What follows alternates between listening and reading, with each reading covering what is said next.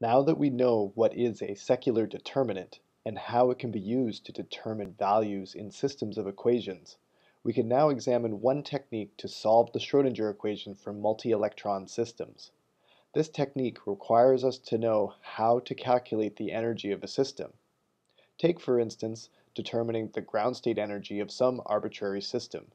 The Schrödinger equation can be expressed with the ground state wave function, which we will denote as psi naught, and the ground state energy, denoted as E naught, such that the Hamiltonian times the ground state wave function is equal to the ground state energy times the ground state wave function. If we multiply both sides by psi naught star and integrate, we get the integral of psi naught star times the Hamiltonian times psi naught times dV is equal to the integral of psi naught star times the ground state energy times psi naught times dV. In this case, we're going to let dV represent the appropriate volume element. On the right-hand side, E naught is a constant, so it can come out of the integral. And so if we divide both sides by the integral of psi naught star times psi naught dV, we get the integral of psi naught star times the Hamiltonian times psi naught dV over the integral of psi naught star times psi naught dV, and that's all equal to the ground state energy. If psi naught is normalized, then the denominator would equal to 1. However, we will keep the denominator left unevaluated so that we leave open the possibility that psi naught is not normalized. The important thing to note here is that we have an expression which will determine the energy of a quantum system described by psi naught. Now, pretend that we do not actually know the ground state wave function psi naught. We can instead attempt to approximate it using a trial wave function, which we will call phi. We can calculate the energy of this wave function phi using the same procedure as before, meaning the energy of phi is equal to the integral of phi star times the Hamiltonian times phi dV over the integral of phi star times phi dV. Since the ground state energy is the minimum energy of a given quantum system, then the ground state energy of the system must be less than or equal to the energy of the trial wave function being used to approximate the actual wave function. This relationship between the two energies is called the variational principle, which states that E phi is less than or equal to the true ground state energy, E naught. The equality holds when the trial wave function phi is equal to the actual wave function psi naught.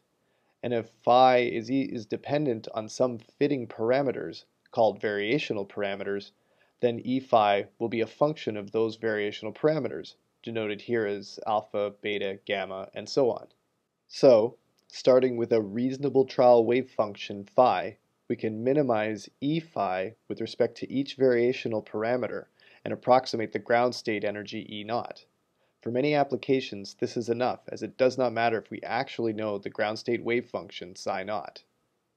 For example, Let's pretend that we couldn't analytically solve for the wave function of the hydrogen atom, but we still wanted to determine its ground state energy. We would suppose that the actual wave function of the hydrogen atom of the ground state would decay, since the probability of finding an electron very far away from the nucleus approaches zero. So we would choose a Gaussian function as our trial wave function, meaning that our phi is equal to e raised to the power of negative alpha r squared. And in this case, alpha is the only variational parameter. So let's apply this trial wave function using the variational principle to determine and approximate the ground state energy of the hydrogen atom. We will then compare this value to the actual analytically determined value, which is negative 1 half times the reduced mass mu times the charge raised to the power of 4 divided by 16 pi squared epsilon naught squared h bar squared in order to do this, we're going to follow these five steps that we have listed right here, being the first one, we're going to calculate the integral of phi star times the Hamiltonian applied to phi. The second step is to apply or to calculate the integral of phi star times phi. Then using these two steps, step one and step two, we're able to solve for the energy of um, our wave function phi. What we're going to then do is we're going to minimize that energy with respect to alpha, our only variational parameter, and then finally we're going to be able to calculate what our minimum ground state energy is using this E phi. So let's start with this first step, which is this solving for this triple integral of phi star times the Hamiltonian applied to phi. And what we're first going to do is we're just going to look at our Hamiltonian. And right here I've got the Hamiltonian written down incomplete in polar spherical polar coordinates. And what we're first going to notice is that when we look at our trial wave function, we're going to see that it's only a function of r.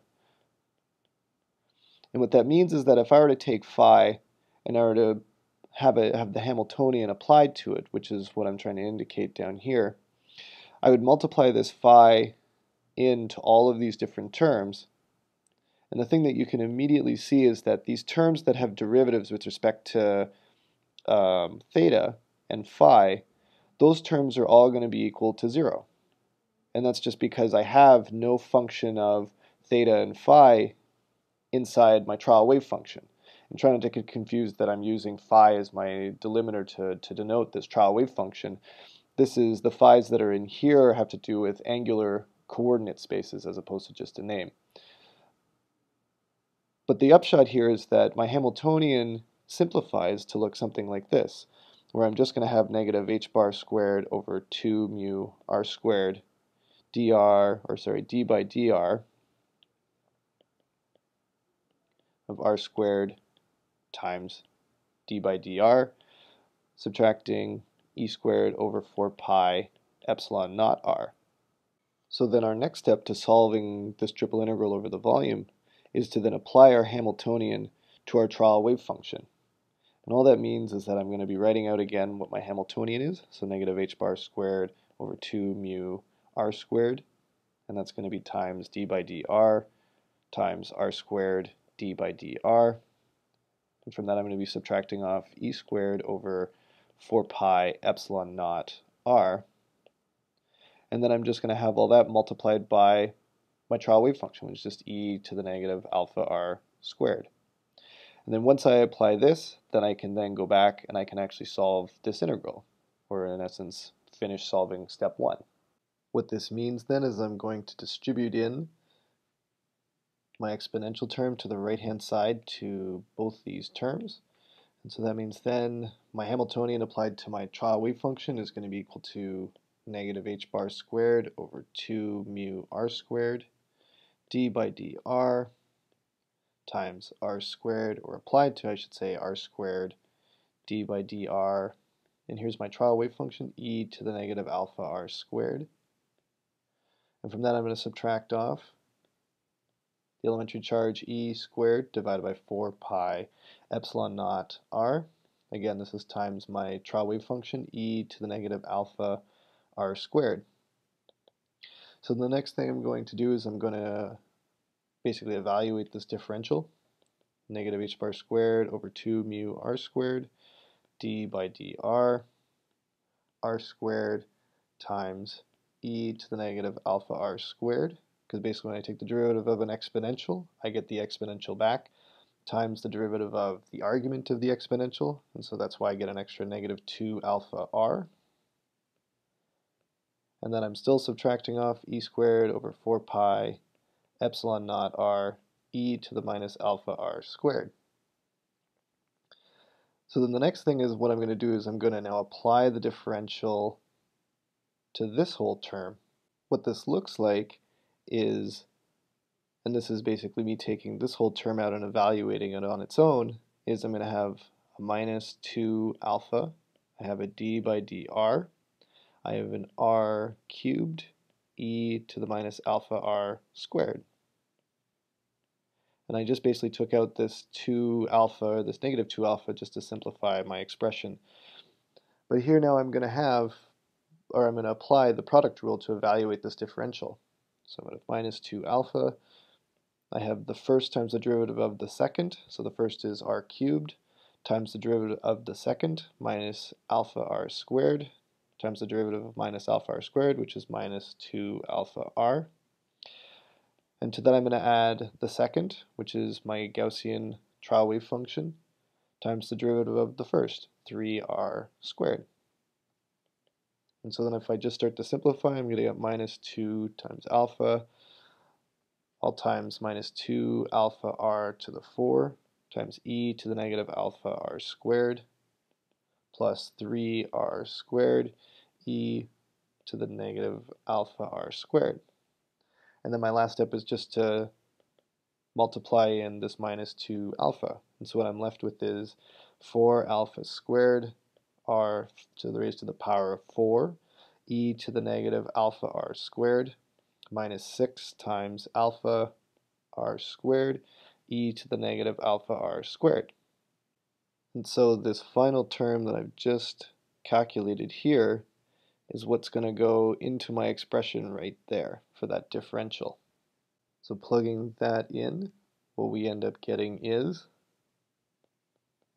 the Hamiltonian applied to my trial wave function minus h bar squared over 2 mu r squared. Here's where this term gets plugged in. 4 alpha squared r raised to the power of 4 e to the negative alpha r squared. That we're going to subtract off 6 alpha r squared e to the negative alpha r squared. And then for that I'm going to subtract the elementary charge e squared divided by 4 pi epsilon naught r times e raised to the power of negative alpha r squared. And so my final step in this is that I'm going to then just multiply or distribute in this term that's here in the front into both my terms that I have here.